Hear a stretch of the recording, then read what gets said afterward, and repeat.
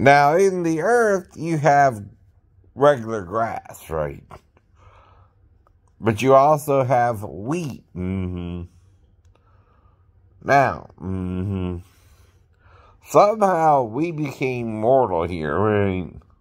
And we all die, mm-hmm. meaning we have a lifespan now. Mm-hmm. But our lifespan ain't the end of our life. Mm-hmm. By the way, by the way. Now, here's the problem. Mm-hmm. Let's say you have this perfect world, right? Mm-hmm. Yet, someone is called the enemy, and let's say every 20,000 years, he gets Adam and Eve to sin with him. Mm-hmm. In a way, too.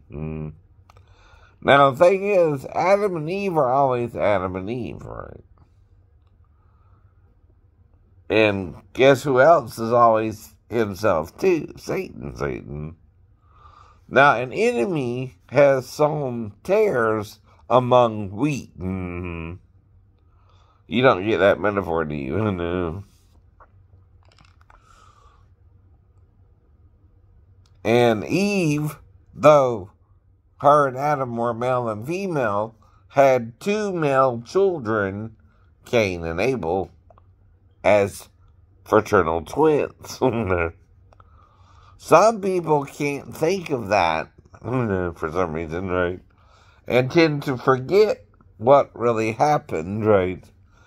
And why or how a fruit tree can make you aware you're naked just from eating from it, right?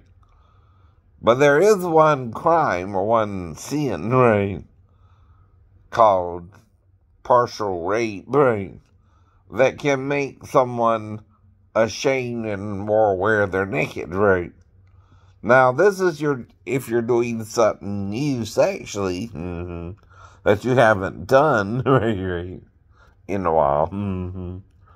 And let's say you almost forget you had done it, right?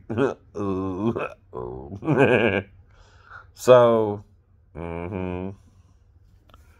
you again, right? Tempt these two in the city with you again, right? The same way. Mm-hmm. And they again know good and evil. Mm-hmm. Well, then you just created a 20,000 year and a 10,000 year loop, right? What's called a time loop, right?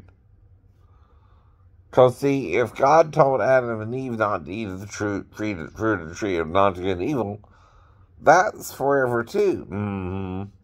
And yet, if they ate of the fruit of the tree of not to good and evil, that too is forever. Mm-hmm. See, you know, time with God ain't the same as with us or measuring it. We have to measure it by carbon 14, right? God only measures it by carbon 12. Mm-hmm. uh oh, think about that one, right?